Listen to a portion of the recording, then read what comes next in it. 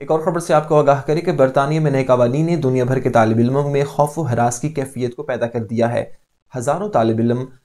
दाखिला होने के बावजूद बरतानिया आने से कतरा रहे हैं।